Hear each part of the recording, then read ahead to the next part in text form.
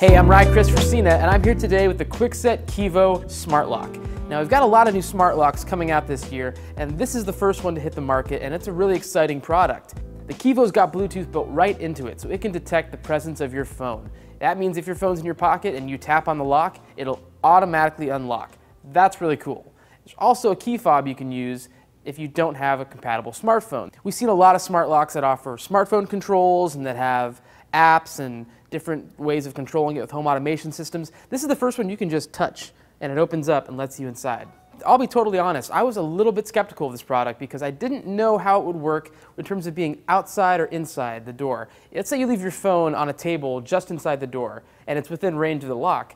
Theoretically, if someone walked up and tapped on the lock, it would detect the phone and think that that person was you and let them in. That's a big safety hazard, kind of a fatal flaw. But Kwikset has solved this problem. They have a really good system that calibrates the phone, calibrates the key fob if you're using that, and it can tell if you're inside or outside. It, it, works. We tested it out again and again. The lock never failed us. If the phone was ever inside or even close to inside, if there was ever any doubt, the lock wouldn't let you in. If you look at this lock, maybe the first thing you'll notice about it is that it's not that noticeable. It's a pretty boring looking lock. It doesn't say Kevo on it. It doesn't have any cool design. It looks like a basic Kwikset deadbolt. And I love that, frankly. I think that's a really wise move. This is on the outside of your house. This is bolted to your door. If it looked really fancy and expensive, I think that might invite someone to come up in the middle of the night and rip it off.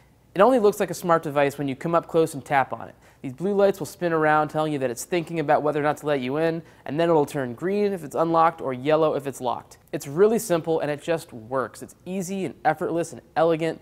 You can rekey it using a little tool they include, so if you wanted to adapt it to an existing key, you can do that without having to call a locksmith. As for the Kevo app, it works fine, it looks really nice. It's a little bit easy to get lost in it, and it's not really clear exactly where everything's located. I'm sure you'll get used to it as you use it, but you don't need to use it. You don't need to open the app to unlock the door. You just really need the app to set your lock up and to calibrate.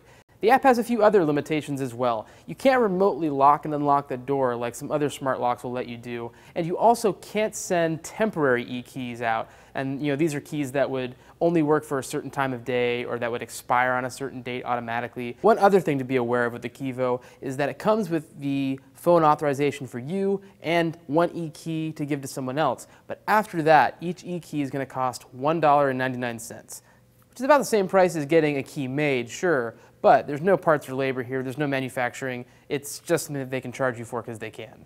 Another thing that kind of bugged me is that when you use the lock, when you tap on it, your phone will buzz and it will make the same noise as when you get a new email message. I like the buzz, I like knowing that the phone is responding to the lock, but that sound, I wish I could have another option, maybe a unique sound, or maybe just turn the sound off altogether. Right now you can't do that. Now to me, the big problem with the Kevo, the one ding I can really give it, is that it's not compatible with a whole lot of devices. It's only compatible with iPhones and iPads and other iOS devices that have Bluetooth 4.0 hardware built into them. You can still use it if you're one of those users, you just need to use the included key fob. Keep in mind though that Bluetooth 4.0 might expand to Android devices in the very near future, and if that happens, Kwikset's going to jump on that and make sure that the lock is compatible with your phone.